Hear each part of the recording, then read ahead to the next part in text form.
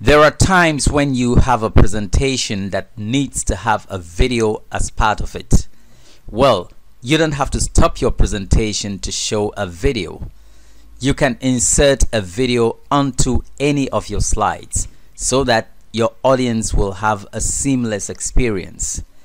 To insert a video on a slide, this is what you have to do. You have to first of all locate the slide where you want the video to be. In this case, I want to create a new slide. I want to insert a new slide right here at this point. So right click, new slide. So this is where I want the video to be inserted. So what do I do? To insert the video, first of all, you have to go to the insert tab and then you go ahead to the media group and click on video.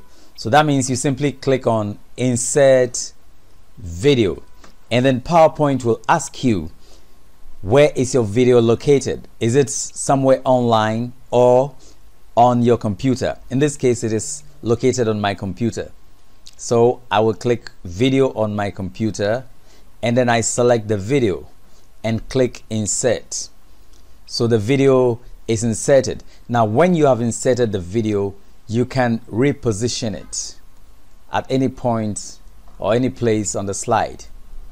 And then also you can resize it to any size that meets your requirements. So in this case, we're going to make it this size, okay?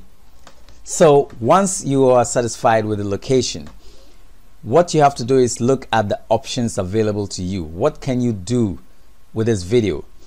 There's a playback tab. You see, this is a contextual tab. That means it only appears when you select the video. You see, when the video is unselected, they're not there. So I select the video and I go to the playback tab.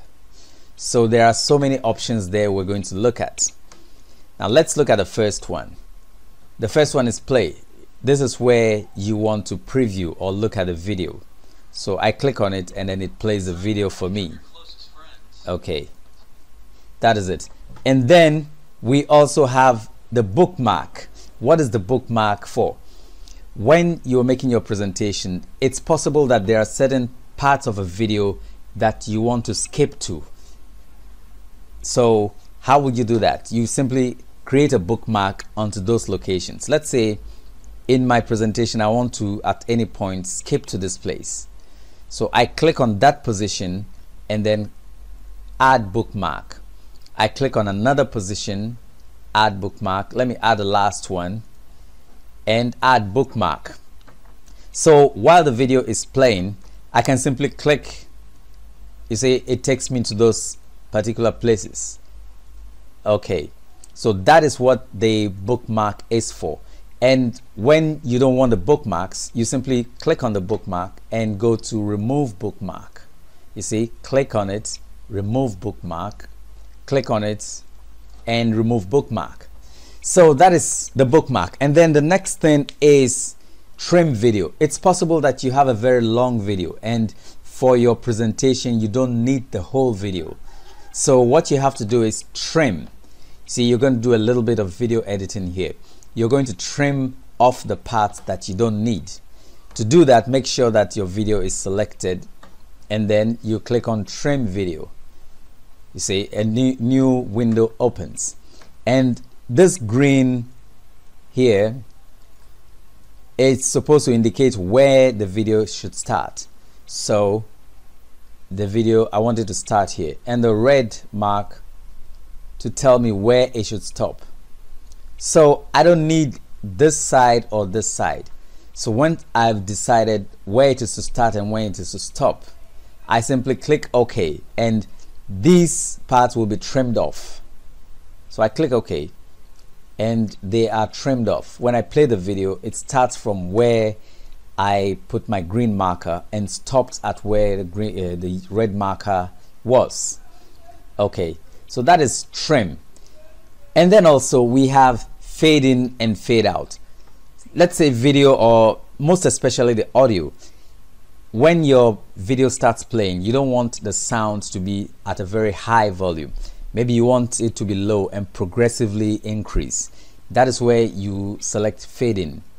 so it's going to fade in slowly and then also if you want it to fade out at the end of the video you know we play we stop this video somewhere in the middle with with the trim so you want it to fade out you want the sound to slowly fade out you can select this and decide how long the fade out should be and then it will fade out very slowly. Okay the next thing is the volume. This is the volume. Okay you decide the volume of your video at the time of presentation.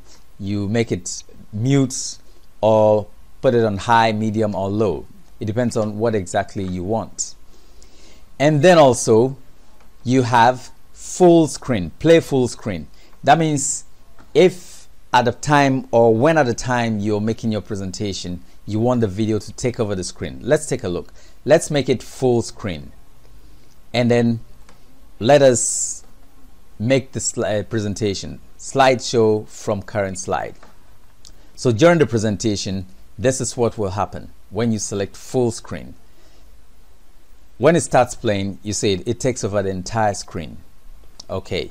Then also when you select um, no full screen and then you start your presentation this is what is going to happen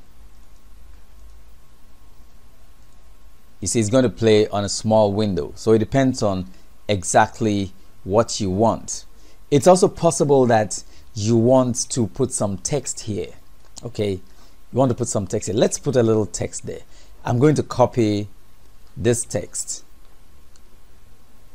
Okay let's right click and copy it and send it down there.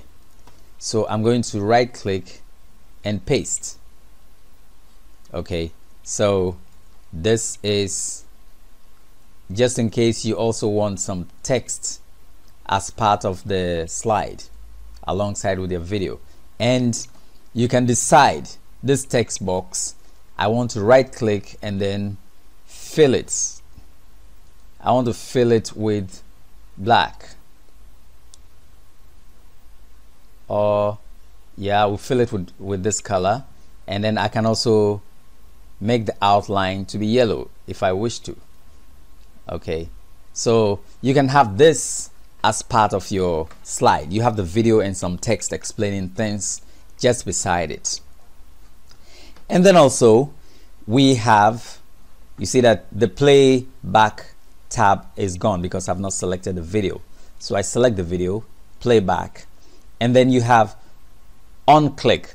That means when you are making your presentation and you get to the slide, do you want the video to start playing automatically or you want it to wait till you click play? Okay, let's for instance make it automatically and see what happens. Slideshow okay let's make it slideshow from the current slide so let's see let's jump to that slide you see it starts playing immediately. Okay that is when you select automatically. Now let's see here. Playback options. I want it to only play when I click the play button. So slideshow from current slide. So you see it doesn't play. So you are kind of more in control in this situation. So it will only play when you click this. Okay, so now I want to hear from you. What do you think? Do you think you would like your video in your presentation to start playing automatically or you want it to play only when you choose to please type in the comment section there i want to know what you think about these two options do you want it to play automatically or you should decide exactly when it should play so please type your comments. Let's hear what you have to say about that. Okay. So that is the playback options. And then you also have this. Loop until stopped. Maybe you don't want the video to stop. You select this option and then it will keep repeating. It will keep repeating until you decide to click on the stop button. Okay. If you select rewind after play that means it will not repeat. It will simply finish playing and then go to the rest state. That means it's not playing. It will play only once. If you click on or you select loop until stopped it'll play repeatedly. Okay so now that we're through with the playback tab there is another contextual tab here.